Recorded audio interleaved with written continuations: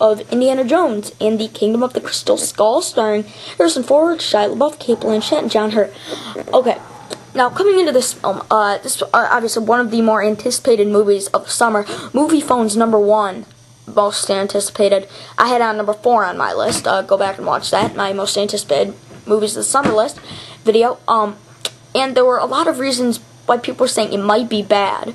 Like, uh, it, there were some bad early reviews, and there were um, George Lucas giving hints that it might not be good. But me, personally, I liked the film. I really did. Uh, I thought Shia LaBeouf stole the show. Uh, now, a lot, I know a lot of people really like Shia LaBeouf. I know a lot of people really don't. I I really, I love him.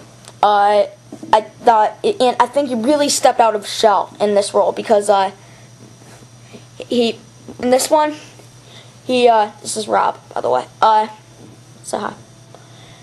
It's my cousins. Uh, in this one, he really stepped out of his shell in a way that, like, he didn't play that bumbling kind of dork that always, like, oh, no, no, no, no, no, no, no. The, the kind of stuttering kind of guy who's like, oh, no, no, no, come on, no, we're here to do this. No, no, no, like that. Um, he, he played kind of a cool Marlon Brando type, which I really like that in this movie. And uh, Harrison Ford's always great, but uh, and at, the only complaints really I had with the film were that I thought Cate Blanchett maybe kind of overplayed her role as the villain.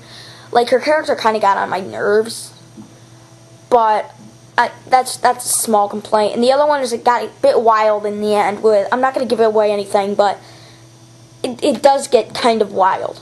And if you're one of those people who goes, "Oh, that can never happen in a movie," come on, that's not that's not possible. You're gonna hate this film because there's some things that are like, "What the heck is going on?" You got to be kidding me.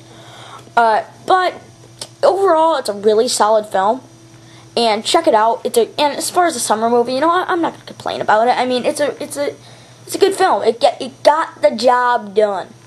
All right, so my overall rating: Indiana Jones and the Kingdom of the Crystal Skull one, two, three, four stars. Four out of five stars. Eight out of ten. Uh, now, uh, the review's over, but I'm gonna just quickly show you my, uh, my reinvented room. Real quick. Cloverfield poster. Joker poster. Episode 1. Spider-Man. Transformers. 300.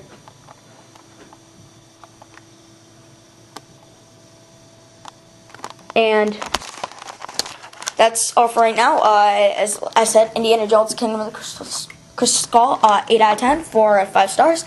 And that is all for right now. I'll be taking a week off next week because I'm not going to see Sex in the City. But I'll probably be reviewing two movies the week after with Kung Fu Panda, which I think looks hilarious, and same with Don't Mess with Zohan. So see you later. Hope you enjoyed the review.